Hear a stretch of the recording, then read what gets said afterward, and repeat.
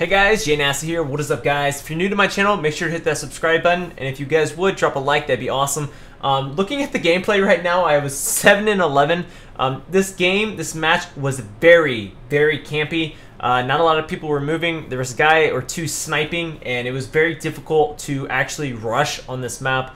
Um, very, very difficult. We couldn't get the spawn trap, and it was just a big camping fest with the enemy team camping on one side and my team camping on the other. So that's why this gameplay you're watching is a really, really slow-paced Chem Strike. So forgive me, I haven't been playing too much Call of Duty. Um, been making a lot of videos lately. But anyways, what I want to talk to you guys today about is the Advanced Warfare Beta and the possibility of an Advanced Warfare Beta. So anyways, as you guys know, usually before every Call of Duty, what... Um, what Activision likes to do, or whatever Call of Duty company is making the game, they like to invite popular YouTubers to their site and or not their site, their com- their company's site. I don't know where the hell they play, but they go and they play, and um, it's usually very big YouTubers that are uploading Call of Duty. I could use like Drifter, TmarTn, Allie, people like that.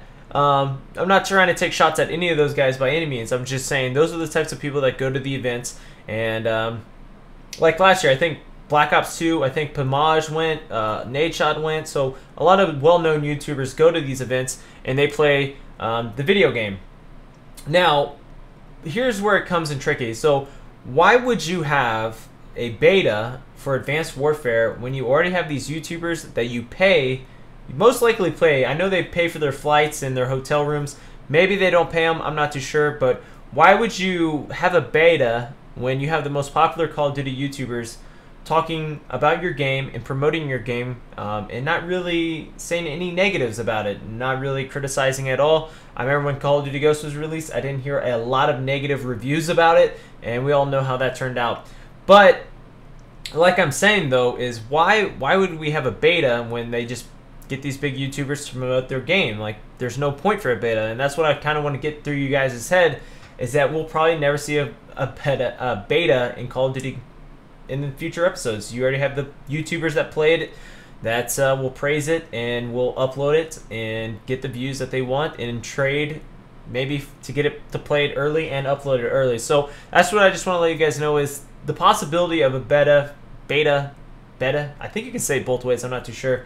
Is slim to slim to none. I feel like if I got a hold of a if I got a hold of a Call of Duty beta, if I got a hold of Call of Duty Ghosts beta before it got released, I would tell you not to buy the game, and that's a sheer fact. I got the game like six days early, and I made some videos saying how bad the maps were, and this is it's an awful game. I said that pre-release, and um, I know you're trying to people try to stay positive, and I know people like to be positive people, but Call of Duty Ghosts, I, I could if I would, if there was a beta, nobody would have bought the game, and I promise you they would have lost even more numbers than they already have.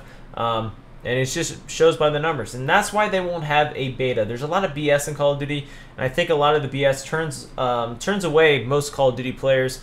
And uh, when you have these YouTubers that are promoting the game, some get paid actually, I know that for a fact. Um, you're just getting positive reviews. So there's no negative reviews in there. You're just getting a bunch of positives. In turn, it influences the audience to buy the game. It uh, persuades them to buy the game. So that's really why there will never be a beta.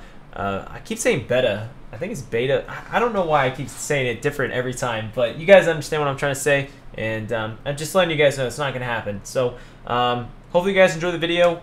If you do mind, drop a like. That'd be awesome. But like I said, and if they make a remake of Nuketown, I'm gonna be thoroughly upset. There's so many other good maps besides Nuketown that needs to be remade. Like Shipment. Shipment would be an awesome map. Just saying. Shipment would be really fun. Crash would be fun. Uh, WMD would be really fun. So many, so many good maps. Grid would be a really fun map. I love, I honestly love almost every single Black Ops 1 map there was. Radiation. So many good maps. I'm tired of Nuketown. I said it. I'm done. It's been in way too many Call of Duties. But I'll see you guys later. Hope you enjoyed the video. Peace out, slutbag. Motherfuckers.